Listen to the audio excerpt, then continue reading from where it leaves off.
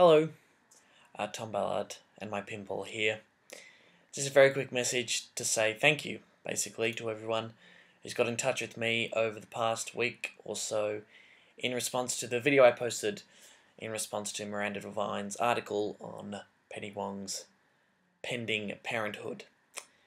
Uh, it's been a pretty crazy week, and um, I never really imagined that the video I made would inspire um, so many people to get in touch, leave comments, hit me up on Facebook or Twitter, and uh, and I just wanted to say a very quick thank you to everyone who did that. Whether you agree with me or not, I just thank you for engaging the conversation and letting me know what you think, very honestly. I mean, the main thing is my profile's now been raised uh, slightly, and I now have over 20,000 Twitter followers. You know, and that's why I do this stuff at the end of the day. So, you know, hopefully my outrage at a columnist's homophobia, prejudice, and ignorance can result in some ticket sales for my very homosexual based comedy. Uh, also, my mum didn't like the swearing in the video.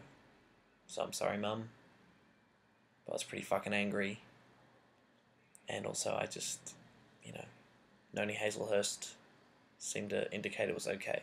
If you'd like to find out more about the conversation that ensued after I posted that video, you can go to a small blog I've set up called divineiswong.wordpress.com. Uh, you can see my debate with someone who sent me a dissenting email, my response to Miranda Devine's response to the criticism of her article, um, and uh, and things of that nature. So if you're interested in this this topic further, divineiswong.wordpress.com. But once again, thank you to the 30,000 people who watched the, the clip, to the people who've sent me emails, who've tweeted me, who've Facebooked me, who've written their own responses. I really appreciate it. And um, I hope that in the near future that this this topic, issues surrounding this topic, will be debated in a way that is more honest, more informed, and more productive than it currently is.